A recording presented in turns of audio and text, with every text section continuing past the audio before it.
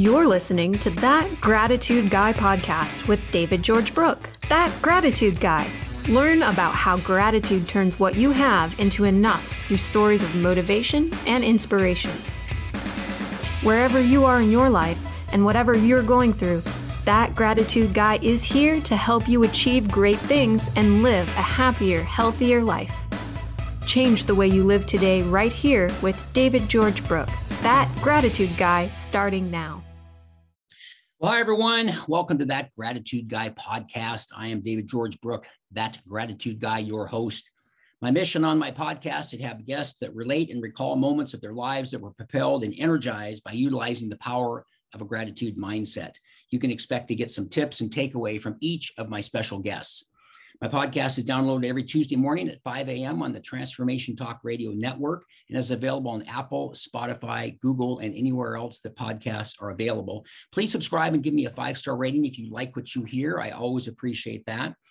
And as a reminder, I do gratitude keynote coaching as well as gratitude keynote speaking. And you can reach me at thatgratitudeguy.com. And also, as you can see in the background, thatgratitudeguypodcast.com. And I'll have contact information in the show notes after this episode. So, so let me get on with the show and introduce you to my guest. Uh, always a favorite part of my podcast is my guest. And no exception today, a very, very special guest. This is my youngest son, Connor Brooke, that is joining us. And so let me tell you a little bit about Connor.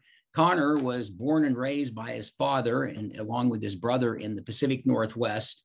And in 2013, he relocated to the San Diego area to earn his bachelor's degree in business finance from San Diego uh, State University in 2018.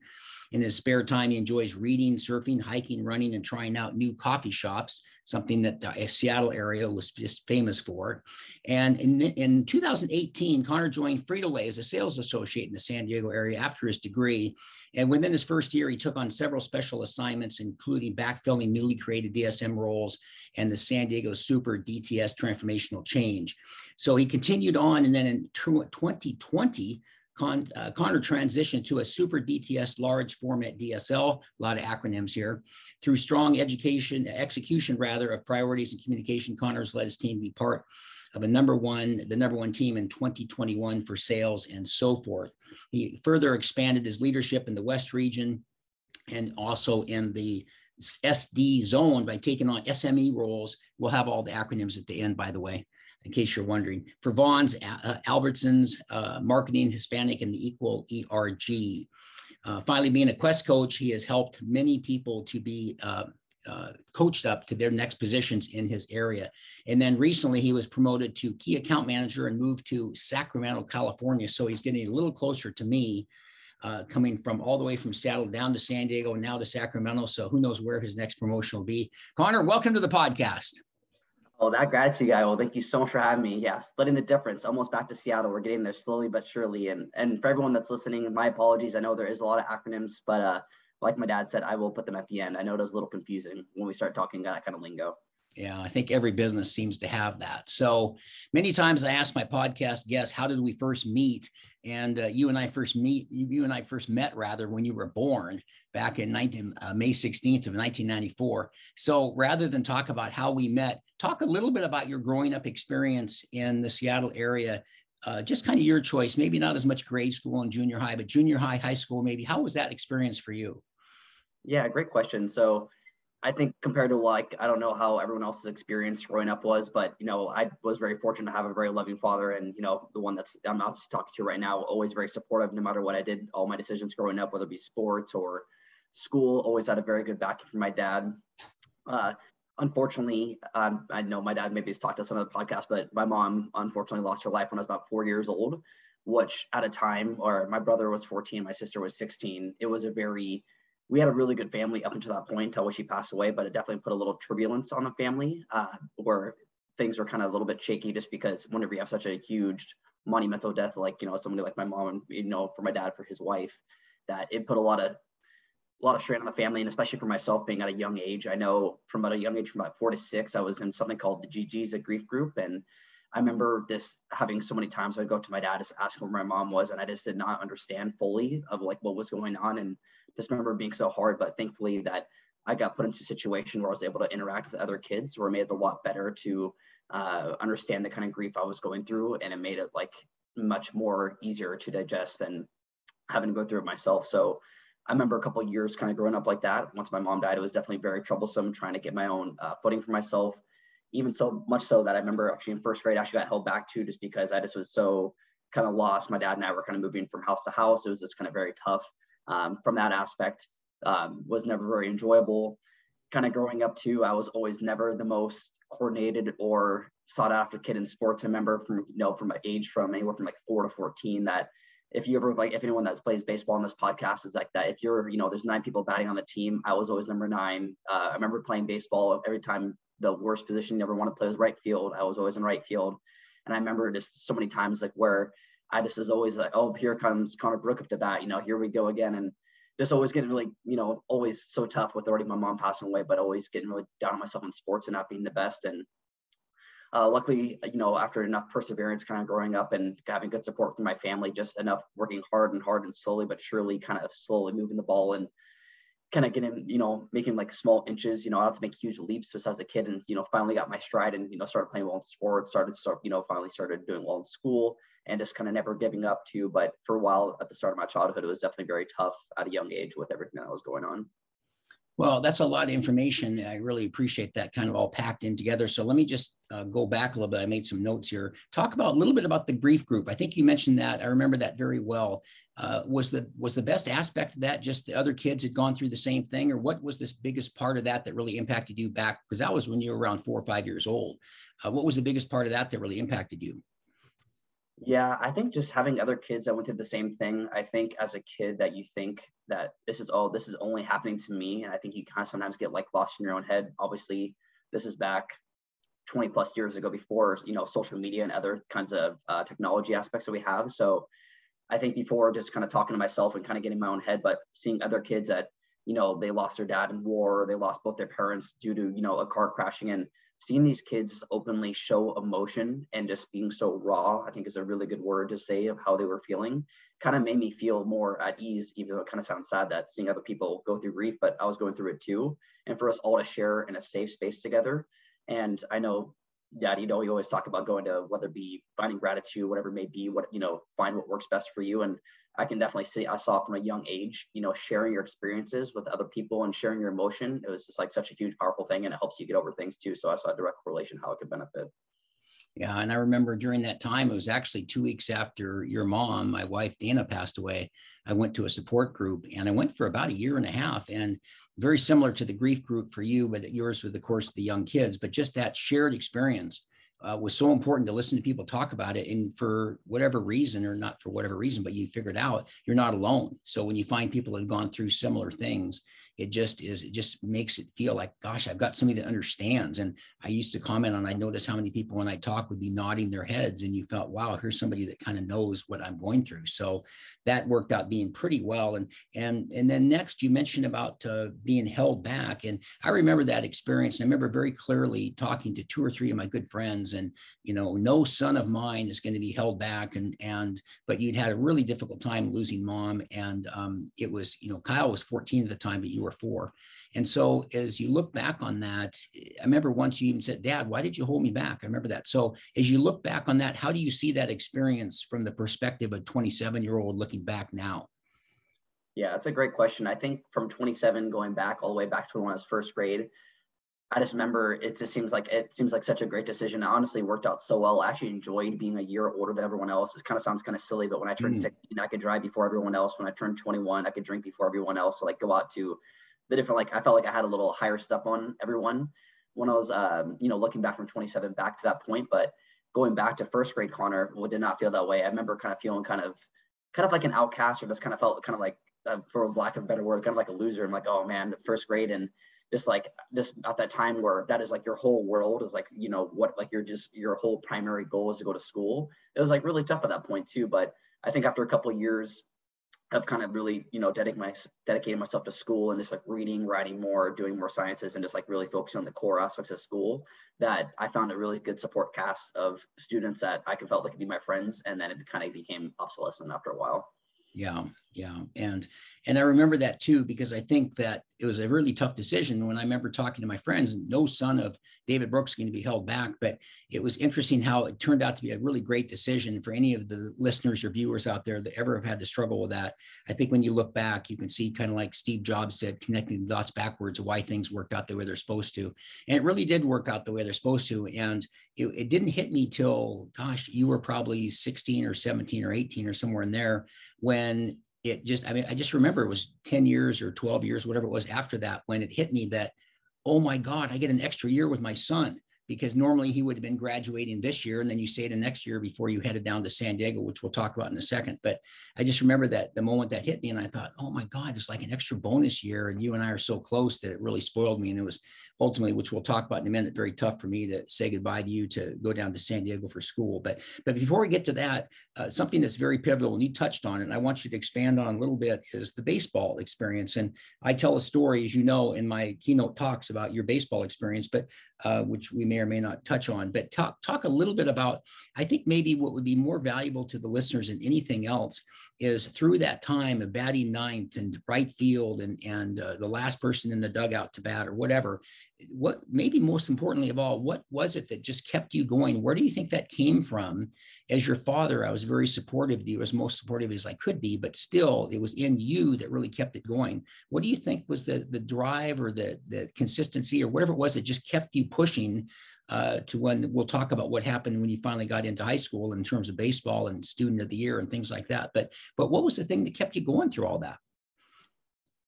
Yeah, it's an interesting thing. I think like looking back is that it's easy for me to say now, like, oh, is this easy just not to give up? I just kept on pushing. But looking back at my younger self, I think that no matter like when I like as many times as I fell down, I think I just understood from a young age that I had to keep on pulling myself up. I knew that I think after my mom passing away that I knew that I had no choice, but I've already seen like the whole bottom. I've already seen like here's where it's really bad. Here's 50 feet below that, and I've already been there. I've already seen seen it so bad. And honestly, being bad at sports, I was like, oh, you know, just if I kept on, I just kept on thinking to myself, if I keep on showing up, this will get better.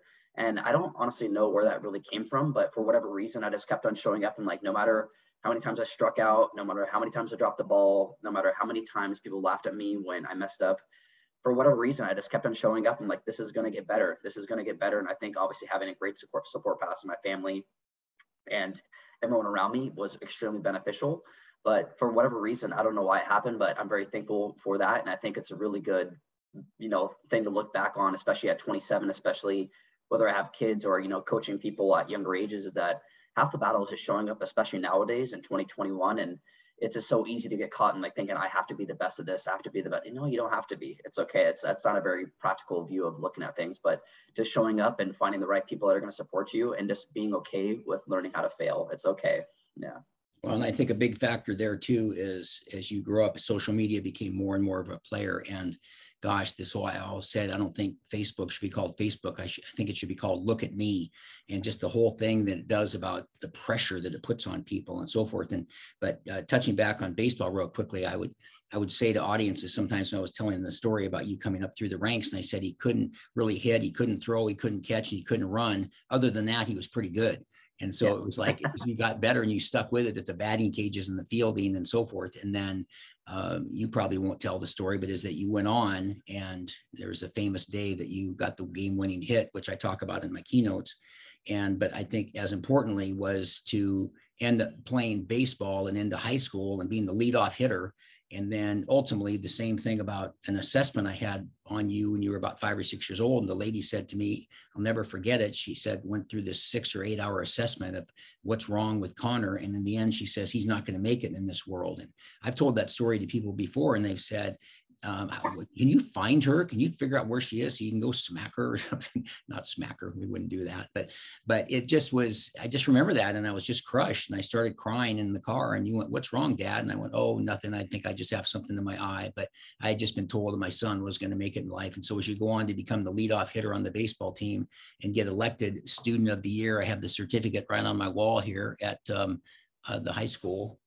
Um, at Skyview Junior High School, and that was just so terrific because you were so, thought to have a learning disability, and so I think that really sticking down with it and or sticking with it rather is such a key point. And and you said earlier too something about getting down on yourself.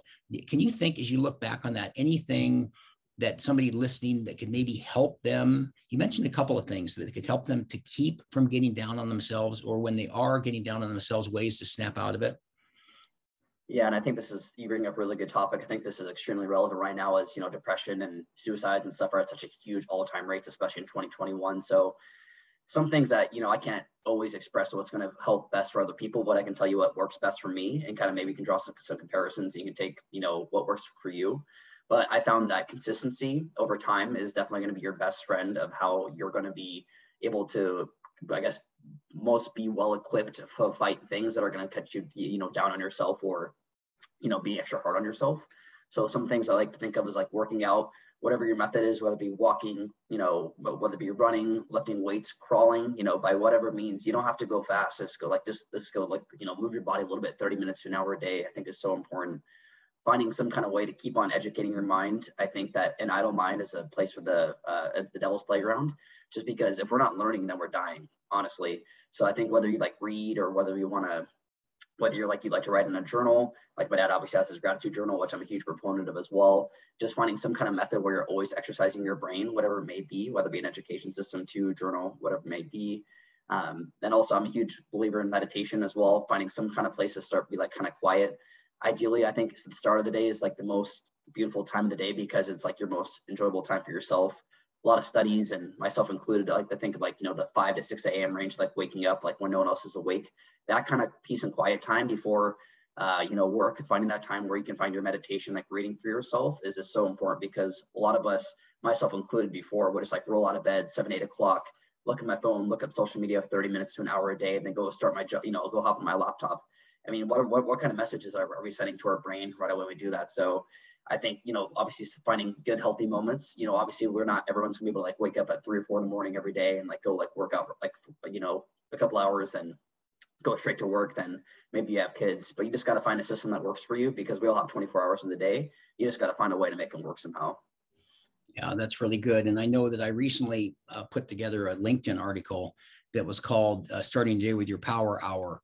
And it was basically, I found myself, similarly to what you said, Con, I found myself looking at the cell phone before I even got out of bed, turning on the laptop before I even had my first glass of water and so forth. And I put this together that you want to, it really, it's a treat to yourself. And however you break that down, for me, it's that first hour is 10 minutes or 15 minutes getting up, first having a big glass of water, making my bed, taking my shower, shaving, getting ready, and coming into the kitchen, turning on the lattes, having my vitamins and my green juice and so forth, and then going in to spend 10 minutes, five minutes to 10 minutes with my gratitude journal, and then 15 minutes to meditate, and then 15 minutes for stretching, and maybe end up with a downward facing dog, and that's that's an hour. And then I turn on the computer, and then I look at the internet, then I look at the phone, and so forth. So, uh, really, really powerful. And I just wrote that down. Some of this consistency, working out, uh, meditation, gratitude journal, getting up at 5 or 6 a.m.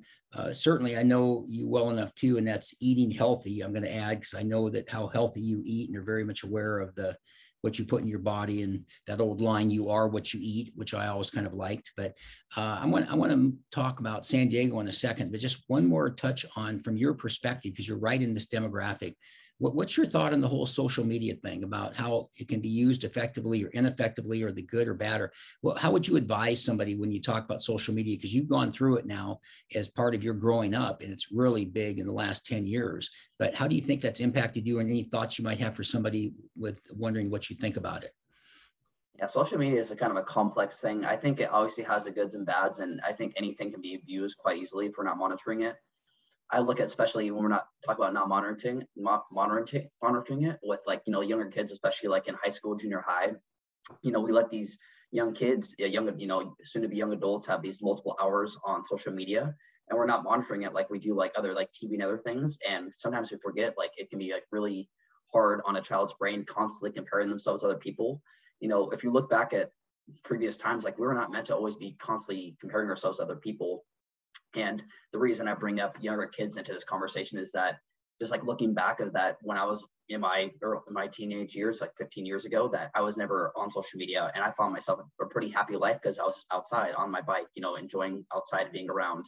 Uh, that being said, you know, the way that things are shifting, that social media is not going to go away. So how do we find ways to cope with it? Well, I think just making sure that you monitor like what kind of stuff you're putting to your feed and like when you look at the stuff that does pop through your feed, just making sure that you're following people that follow the, the image and vision that you want yourself to go for. So for example, if like I want to embrace a life of happiness and gratitude, then I probably shouldn't be following people that are probably partying till two or three, four in the morning and doing things they shouldn't be doing, you know, not being good Christians or being good people.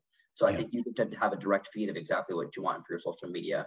Uh, for myself, for my personal stance, I I'm a very limited user. I just I find myself just not really enjoying the kind of person I am on social media. I'm very lowly involved, but I do understand the importance of getting to see what my friends, if like someone's getting married or you know one like someone in my family's having kids, I get to comment on that. That kind of stuff is nice too. But I'm on the lower uh, lower level of being involved.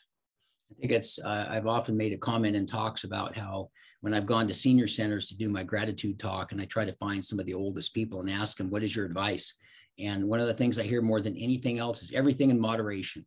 And so that mm-hmm. just somehow feels that that might be applicable with social media. That's I get talks through social media. I post articles about gratitude and things like this, but some of the other things are just so hurtful and that not as much for me, but for people where there's bullying and cyberbullying and all these things, which there's a negative side of that, which is is really sad. So, so moving up to about 2013 is a very pivotal time in your life when you made a decision to leave the Seattle area and go to San Diego for school. So uh, tell the listeners a little bit about that and how you made that decision and how that came about.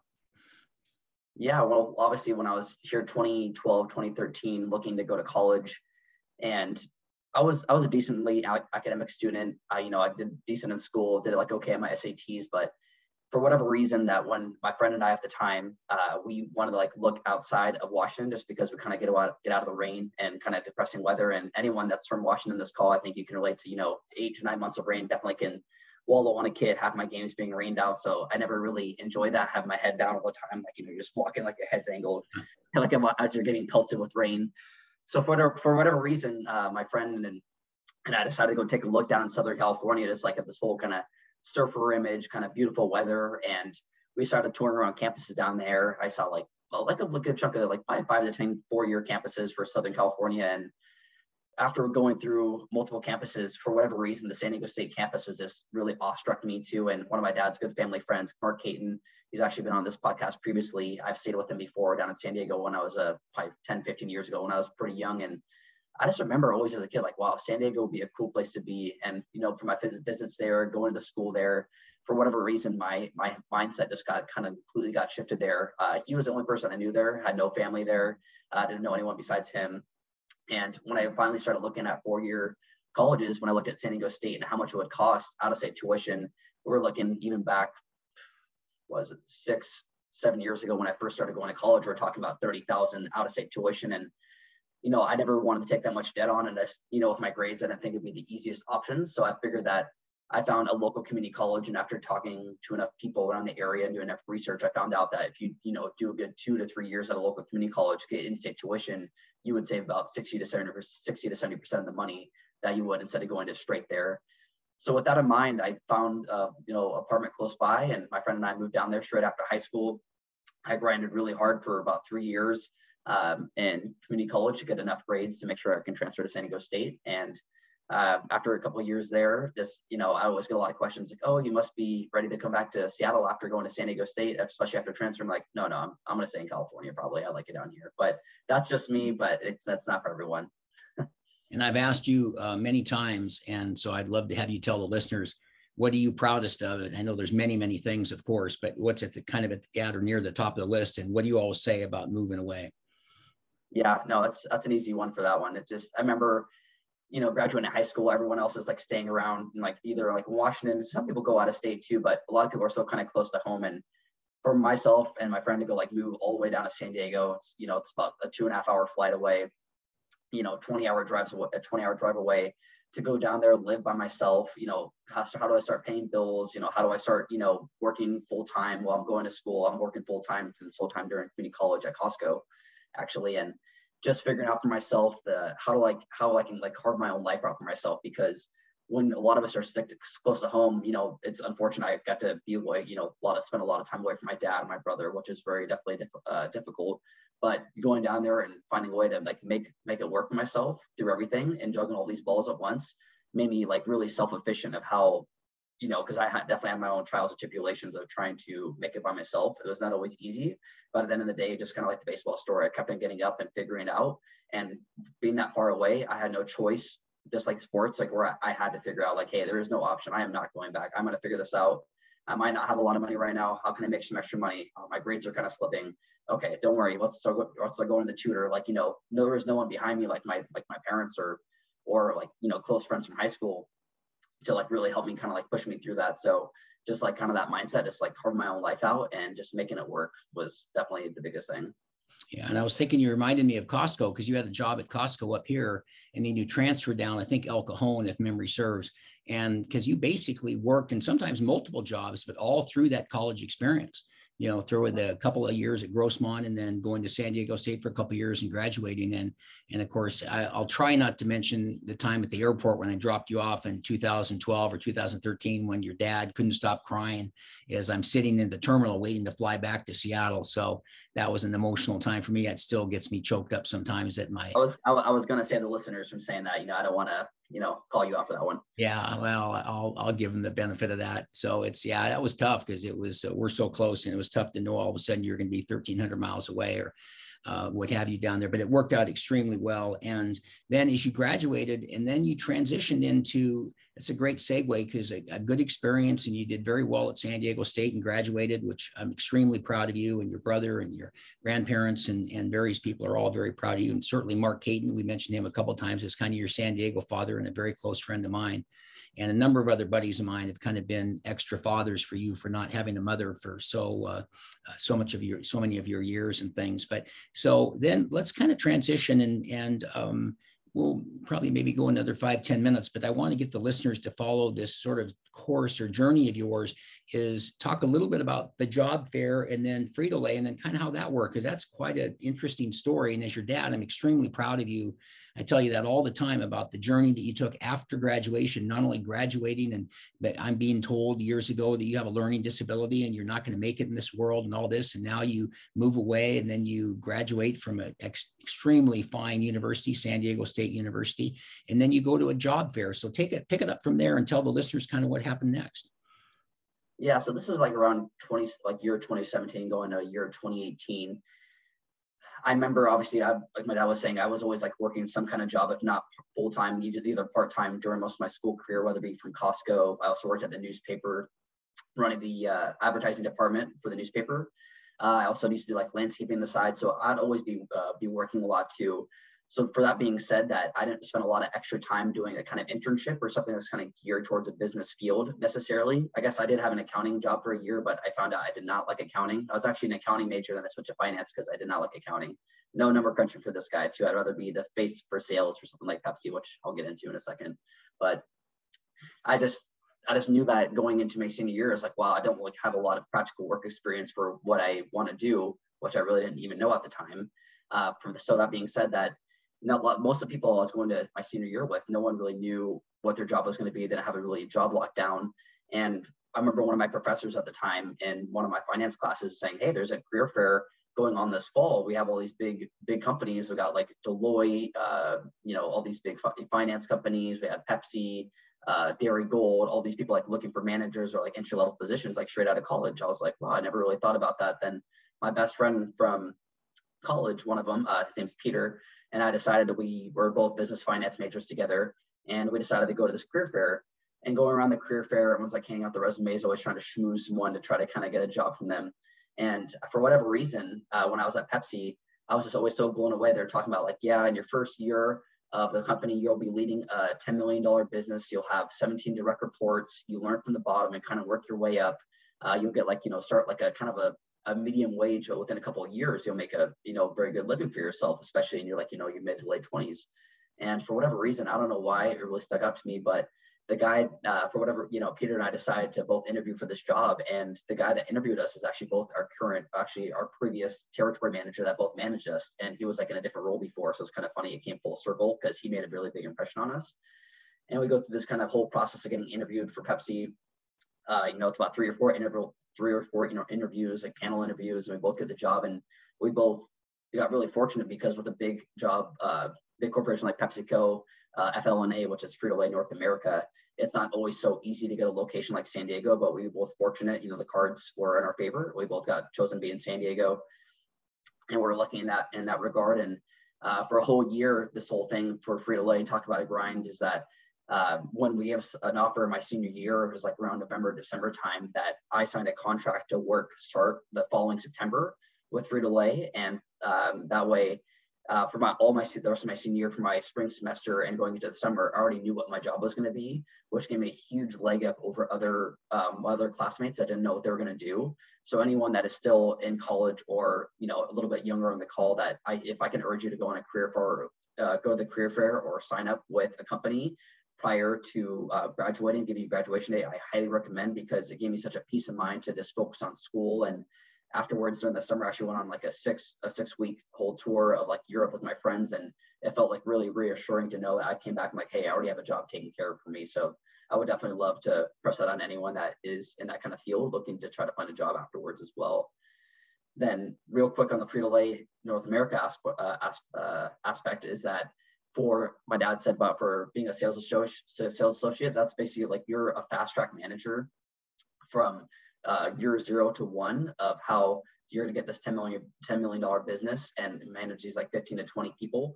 And the whole point of it is, is that they're actually from a big company like pepsi and amongst other big companies are encouraging you to get business related degrees so mine was business financing me any business uh, business degree but since you have a business degree you can fast track this whole manager process which would usually take someone in the company 15 to 20 years working from like a sales like a sales route like driving a truck for like um, uh, DSD, which is direct to store, another acronym, acronym where you have to have all this work experience, but since you have that business related field, you can do it in a short, uh, short uh, span from only one year. So for this, the we'll wrap this up real quick on the Frito-Lay aspect. But one thing I found really interesting that is at Frito-Lay, you had to stop directly uh, directly from the bottom. So what that mean means is that if you ever see like the big, you know, 30 foot trucks of Frito-Lay or like, you know, anyone like the 20 foot uh, trucks that say Frito-Lay is that these people, uh, you know, they're called route sales representative RSRs, but like go to the go to warehouse every morning, go grab a handheld for like ordering product, go like load up all their product and go like go deliver direct to store. And these are people you'd be managing for this whole first year. And it's a really cool process of like where for this first six weeks when you're first starting, you actually train with someone working up at these crazy hours, two to three, four in the morning and go work with them together.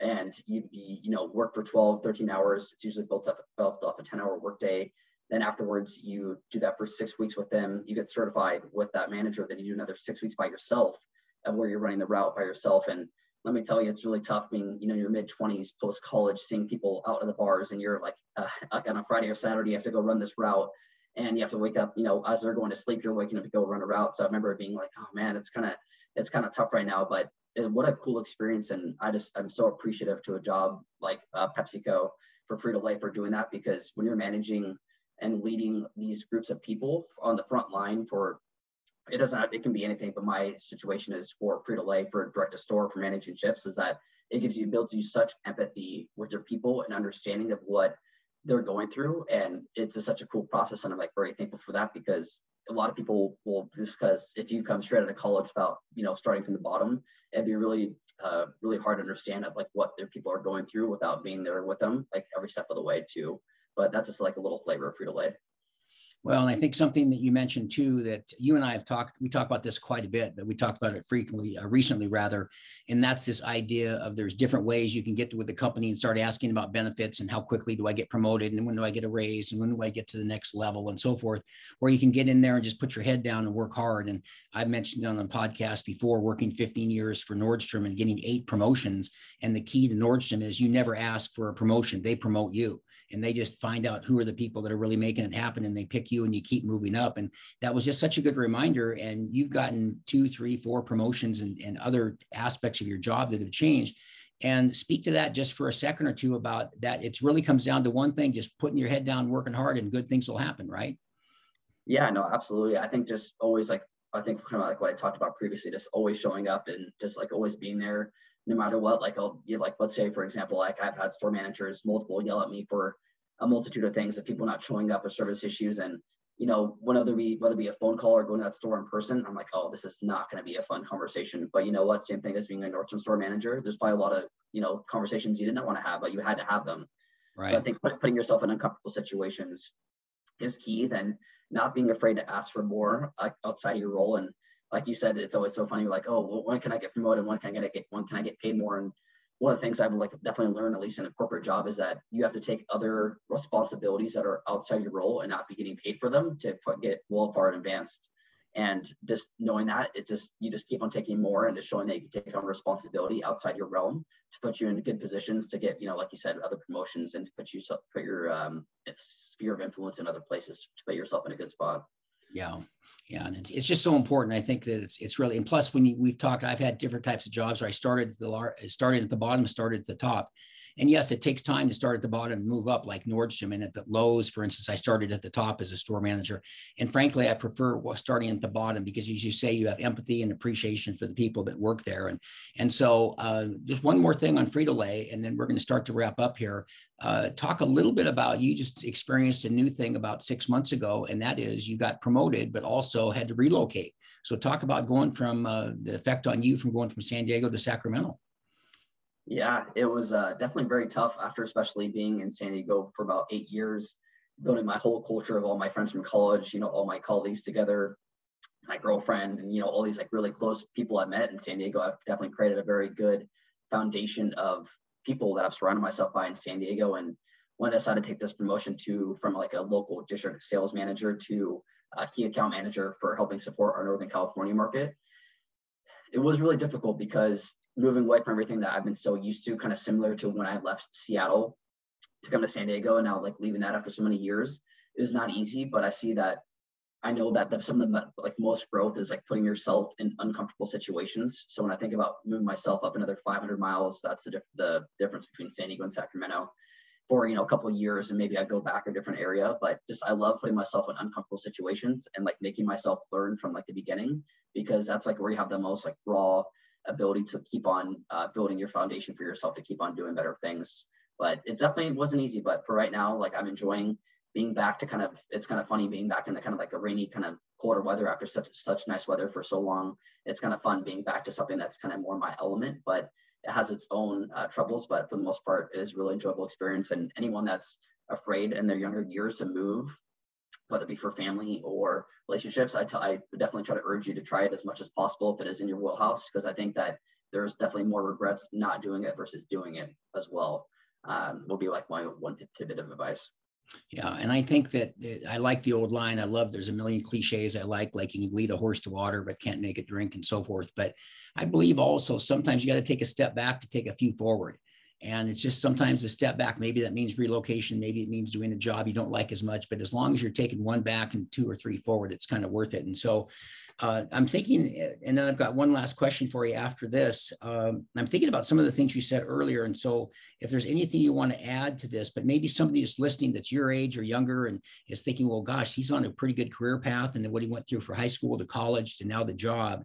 And some of the things you said are consistency, uh, the working out piece, the exercise, the meditation, the gratitude journal, getting up at five or six and starting your day. Uh, I mean, I added eating healthy because I know that you are very big on that. Anything else you could add to that list for somebody as part of their routine to make sure they're on a good track?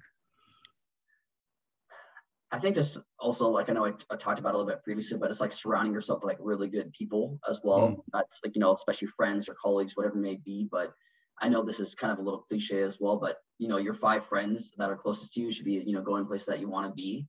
So I think just like having a really good support cast is like really important to making sure you're it matches the vision and like mission of like where you want to go with your life.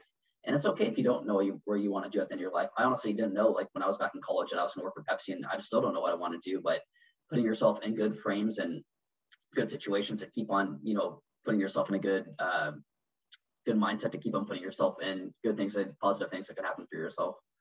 Yeah, and I think it's so uh, so true. I, I've always liked the line, "You're known by the company you keep," and uh, John Lee Dumas always says quotes the idea that you're you're the product of the five closest friends that you have, and and it's just it's interesting. And I think back about when I think about raising you, uh, when I didn't have to pay a ton of attention to it, but it just was enough that it was helped me. Which is who are you hanging out with? Who are your friends?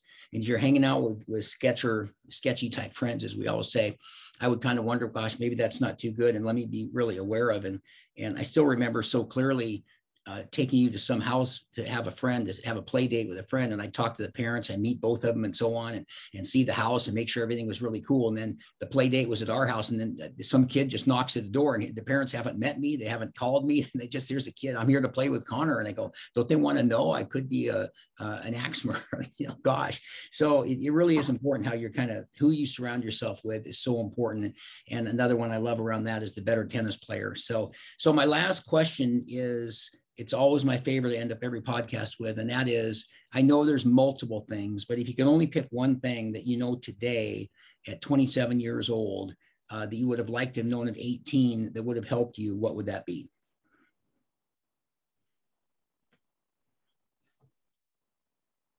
Just have a strong belief that everything happens for a reason and God has a plan.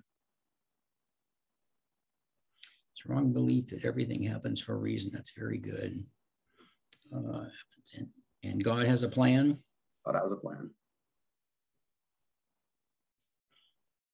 Excellent. You know, and it's interesting too that surround yourself with positive people. It makes me think of, I've always liked the line, a rising tide raises all boats. But I noted recently, but you can't help somebody with a boat that has a leak in it. You know, so you're always going to want to hang around with those people that are that are moving forward. Strong belief that everything happens for a reason and God has a plan. I mean, you can try plugging the holes, but it's not sure how long it's going to help you out for. yeah, and that's well, it's it's and I could go on cliches all day long. We've got to wrap up, but I've said many to my coaching clients that I'll be your training wheels, but I'm not going to pedal your bike. You know, you got to do the work. I think God gives you the toolkit, but I think you got to build the house. I think that's kind of how it works and stuff. So.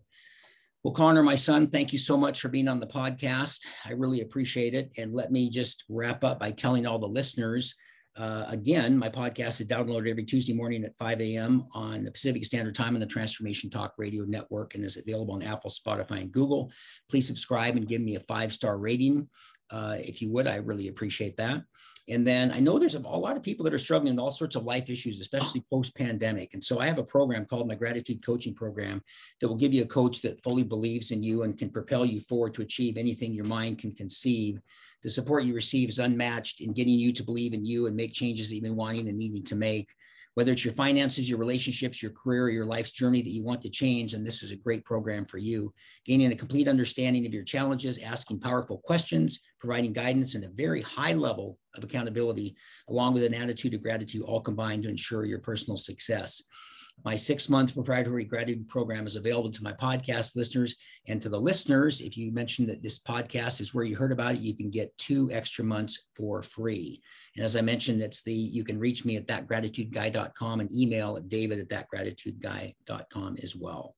Also, if you'd like to receive my weekly Monday morning minute video, a lot of people like to get that every Monday morning at 6 a.m.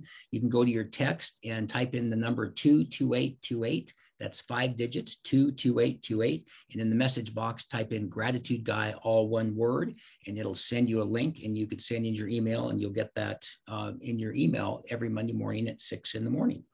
So lastly, thank you so much, Connor. Thank you again. Thank you all for tuning in. I appreciate you listeners and viewers. And uh, as I always say every single time, I'm David George Brooke, that gratitude guy. And remember, be grateful and never quit. So long. Thank you for listening to That Gratitude Guy podcast with David George Brooke, where living with gratitude turns what you have into enough. Transformation starts now, and you have everything you need to achieve great things. In a world that is constantly changing, there is motivation and inspiration right in front of us, and you can find yours right now. Don't wait. Visit thatgratitudeguy.com to get started living with gratitude today.